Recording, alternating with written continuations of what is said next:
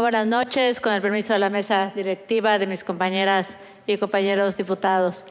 Cuando se concebió la ley de movilidad, se legisló para entender que el espacio público no solo era para los vehículos automotores, sino también para peatones, eh, ciclistas, etcétera.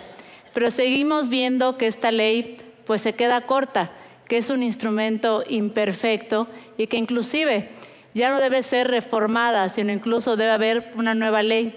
Lo anterior, eh, reconocido por el propio director del Instituto de Movilidad del Estado.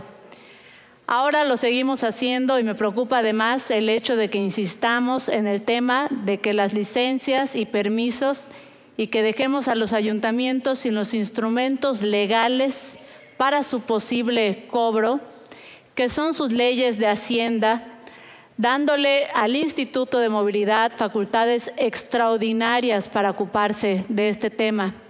Si se determina que los municipios podrán seguir realizando acciones de expedición, renovación y reposición de licencias y permisos para conducir vehículos eh, únicamente previa firma de convenio de coordinación con el Estado a través del Instituto de Movilidad, aunque no se establece el cómo ni el cuándo.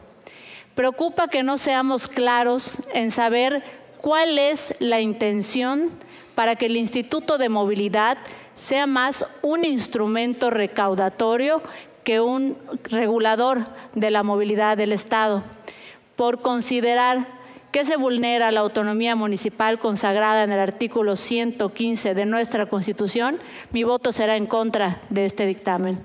Es cuanto.